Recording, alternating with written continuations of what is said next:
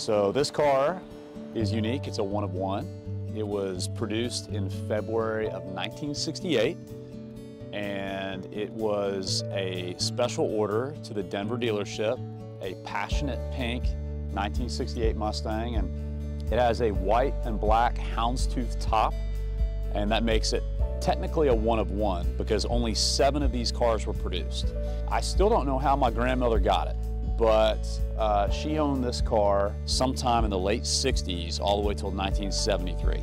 I found out about this because I was really into Mustangs in high school.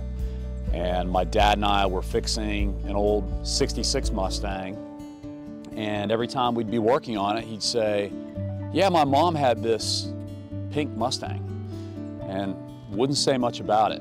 And I, I knew that she died of suicide, but you know, he didn't talk much about her. And so, you know, my curiosity became a passion. My passion became uh, something that was about Mustangs, but also knowing more about my grandmother that I never knew.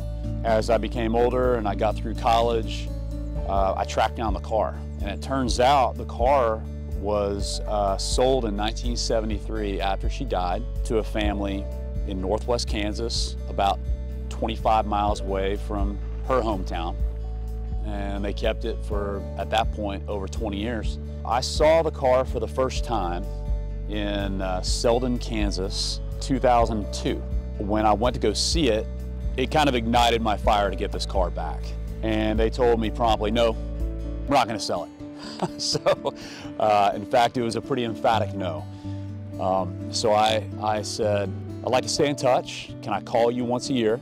The lady was nice enough to say, yeah, you can give me a call, and the answer is probably going to be no. And, and so I did that. I called her 20 straight years. Every May, she would sometimes tell me no, sometimes she'd tell me maybe one day, and, but there was never a point she said never. Sometime around 2001, I let her know that I was going to be about 400 miles away with my family for a wedding. I asked if we could come see it.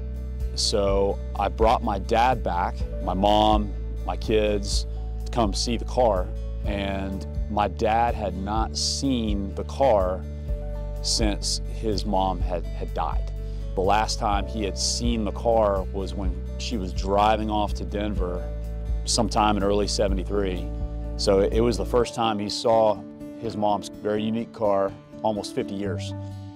So a very emotional moment, and I was told again, no, we're not selling it. But I didn't give up on that. And the next year I called again and, and she finally said yes. My father and I made this trip up to Northwest Kansas to get it and he just opened up. You know, he talked a lot about Eva. Eva was her name, telling me stories about her, how beautiful she was, how unique she was, how she was a one of one, just like this car.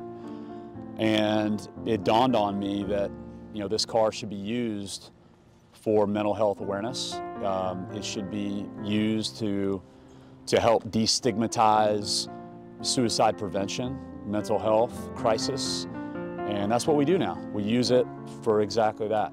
The car has been, been an absolute blessing for our family because suicide, you know, a, a subject that's really difficult to talk about, didn't really get talked about in our family for uh, decades. And this car has brought that subject to light. It's, I think, allowed for some healing, not only for my dad, but uh, for his two sisters. We had the opportunity to, to use the car for my sister's wedding this past year.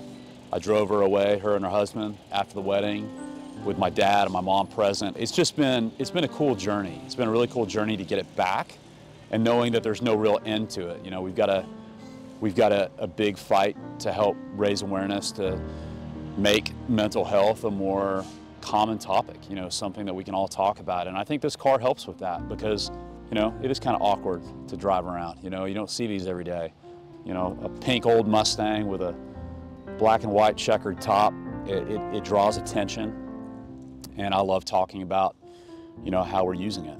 You know, we want to shed light on darkness. We want everyone to know they're a one of one, just like this car and we're going to use it to be a living tribute to her.